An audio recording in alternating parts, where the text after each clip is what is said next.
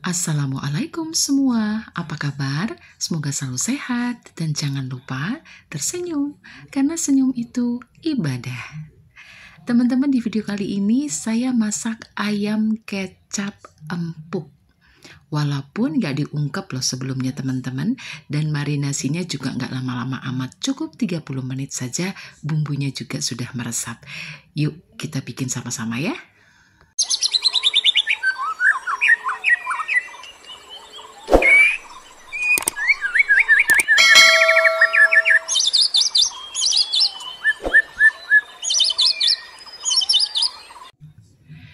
Di sini saya punya 500 gram atau setengah kilo daging ayam.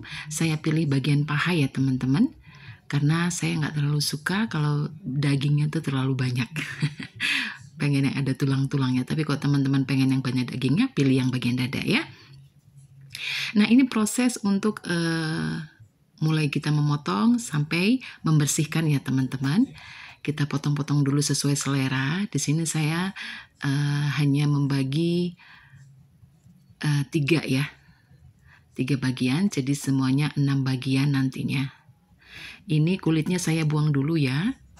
Juga ada lemak-lemak yang uh, menempel di sekitar dagingnya itu saya buang, saya nggak pakai.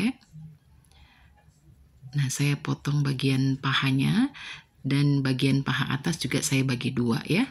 Kemudian sedikit dikerat-kerat supaya nanti bumbunya meresap sampai ke dalam. Uh, olahan daging itu nggak ada uh, bosannya ya teman-teman ya. Macam-macam kreasinya diapain aja itu enak banget. Jadi kita selalu bersyukur Allah itu memberikan kita satu bahan makanan yang uh, apa namanya enak untuk dikonsumsi apa aja dan mudah ditemukan ya. Oke, setelah kita potong-potong uh, seperti ini, teman-teman, mulai kita uh, membersihkan. Di sini saya nggak langsung cuci pakai air ya, teman-teman. Kita lihat aja kita taruh dalam wadah, kemudian kita tambahkan satu sendok makan tepung terigu.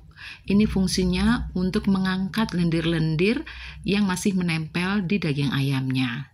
Jadi nanti hasilnya tuh keset banget teman-teman.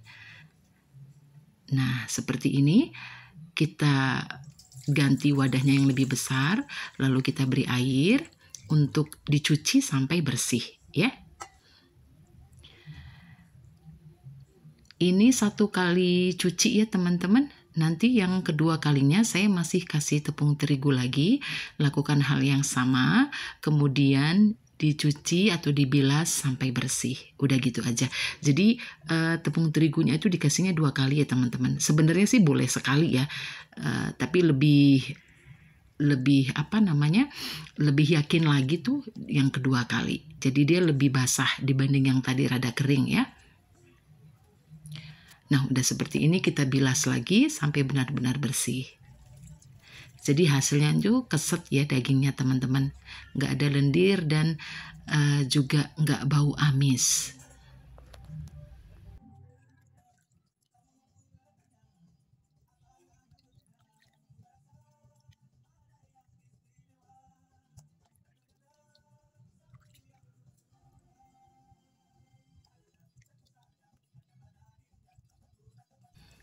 Nah, kalau sudah benar-benar bersih, kita sisihkan dulu.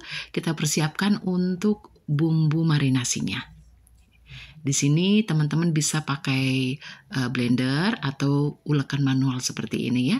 Siapkan bawang putih, garam, dan juga ketumbar. Resepnya nanti bisa lihat di description box ya teman-teman. Nah ini karena ada gempa. Gempa lokal ya maksudnya ini guncangan guncangan. Jadi saya percepat aja ya teman-teman. Ini supaya mempermudah dan mempercepat videonya dihaluskan aja seperti biasa. Lalu kita uh, sisihkan untuk marinasi ayamnya. Nah ini ayamnya udah bersih ya udah keset. Masukkan bumbu yang sudah kita ulek tadi kemudian kita tambahkan sedikit penyedap rasa dan ini uh, satu rahasia juga teman-teman. Tambahkan satu sendok makan cuka meja ya. Uh, ini fungsinya untuk apa? Untuk melembutkan daging ayamnya. Jadi walaupun dia tidak diungkep ya teman-teman, dimarinasi seperti ini, terus nanti kita goreng. Asal gorengnya jangan terlalu kering ya teman-teman. Itu dagingnya empuk banget teman-teman sampai esok harinya atau dua hari kita makan tuh dagingnya masih empuk loh. Nah eh, teman-teman bisa coba nanti di rumah ya.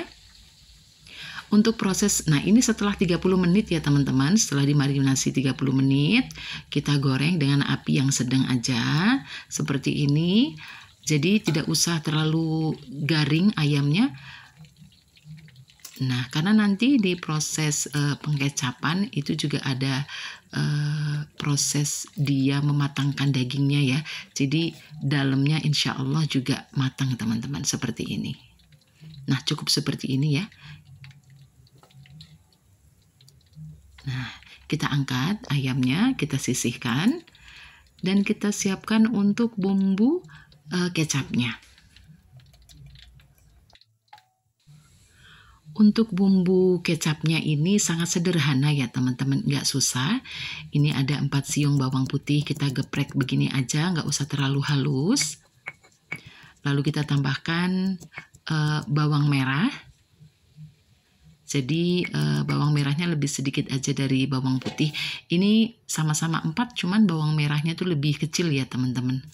Nah kita tumis dengan minyak secukupnya seperti ini. Tumis sampai harum. Kalau saya sih senangnya rada kecoklatan ya, tapi nggak gosong. Uh, tambahkan air secukupnya.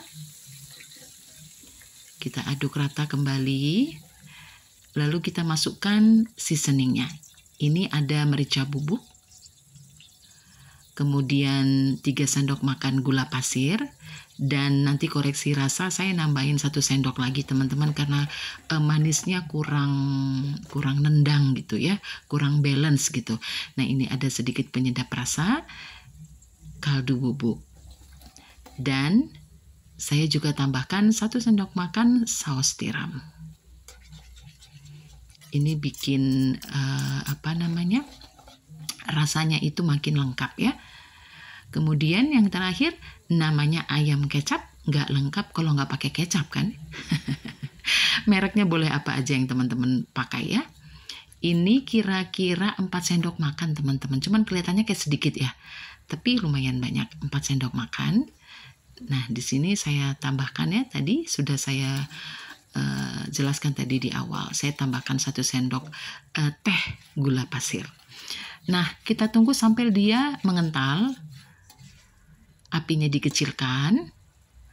Karena prosesnya nggak lama, ya kita masukkan ayamnya. Kemudian kita ratakan kecapnya apinya kita kecilkan, kita tunggu sampai uh, kuahnya itu uh, nggak sat-sat banget ya, ada sedikit lah sisanya, lebih kental dari sebelumnya. Jadi dia benar-benar meresap ke dalam ayamnya. Nah teman-teman ayam kita sudah jadi. Ini dia ayam kecap, ayam goreng kecap empuk. Teman-teman bisa coba bedanya nggak dikasih cuka sama uh, dikasih cuka ya.